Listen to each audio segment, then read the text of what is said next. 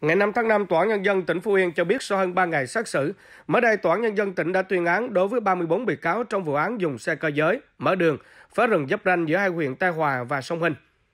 Với hai tội danh, vi phạm quy định về khai thác, bảo vệ rừng và lâm sản và hủy hoại rừng, bị cáo Nguyễn Hoài Linh bị tuyên phạt 9 năm tù giam. 23 bị cáo bị xét xử về tội vi phạm quy định về khai thác, bảo vệ rừng và lâm sản,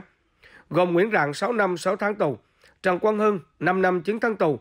Trương Thái Vương 5 năm 3 tháng tù, Trần Văn Tấn 5 năm tù, Nguyễn Hoài Hiếu 4 năm tù.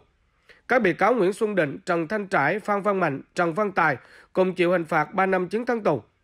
Các bị cáo Nguyễn Thái Trực, Phạm Văn Thảo, Nguyễn Hữu Trí, Đoàn Minh Sơn, Trần Văn Hào, Đoàn Minh Sa cùng chịu mức án 3 năm 6 tháng tù.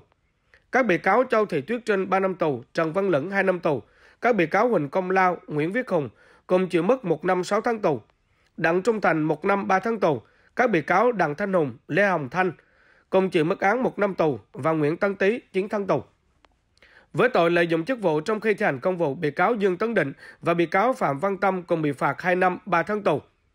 Trong nhóm tội danh thiếu trách nhiệm gây hậu quả nghiêm trọng, 8 bị cáo gồm Trần Đức Hòa, 1 năm 3 tháng tù, Nguyễn Văn Thuận 6 tháng tù, Trương Minh Hoàng 1 năm 6 tháng tù, nhưng cho hưởng án treo. Các bị cáo Cao Tấn Khôi, Nguyễn Hữu Toàn, Huỳnh Kim Trúc, Phạm Đình Phúc, Trịnh Lâm Hải bị tuyên phạt 6 tháng tù nhưng cho hưởng án treo. Theo cáo trạng, từ ngày 17 tháng 2 đến ngày 25 tháng 4 năm 2020, Nguyễn Hoài Linh cùng với Trần Văn Tấn thuê Trương Thái Vương dùng xe múc phá rừng mở đường để Linh Tấn chặt phá cây rừng. Các đối tượng này đã săn lấp hơn 4.170 m2 đất rừng tự nhiên tại tiểu khu 358 do Ủy ban nhân dân xã Sơn Thành Tây và Ban quản lý rừng phòng hộ huyện Sông Hinh quản lý để làm đường vào phá rừng. Sau đó thuê nhiều người khai thác gỗ, dùng xe cơ giới kéo gỗ rồi vận chuyển đi tiêu thụ, thu lợi bất chính.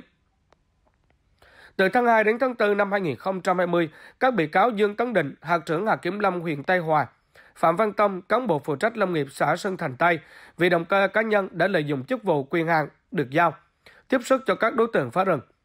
Các bị cáo Phạm Đình Phúc, Phó Giám đốc Ban Quản lý rừng phòng hộ huyện Sông Hinh, Cao Tấn Khôi, Nguyễn Văn Thuận, Nguyễn Hữu Toàn, Trịnh Lâm Hải, Chủ tịch Ủy ban nhân dân xã Sơn Thành Tây, Trần Đức Hòa, Phó Chủ tịch Ủy ban nhân dân xã Sơn Thành Tây, Huỳnh Kim Trúc, cán bộ kiểm lâm phụ trách địa bàn xã Sơn Thành Tây. Trương Minh Hoàng, Phó hạt trưởng hạt kiểm lâm huyện Tây Hòa đã không thực hiện đầy đủ đúng nhiệm vụ được giao trong công tác bảo vệ rừng để Linh Tấn Rạng cùng các đồng phạm và một số đối tượng khác phá rừng mở đường khai thác gỗ trái phép tại khu vực thuộc trách nhiệm do mình quản lý để các đối tượng gây thiệt hại hơn 1,17 tỷ đồng.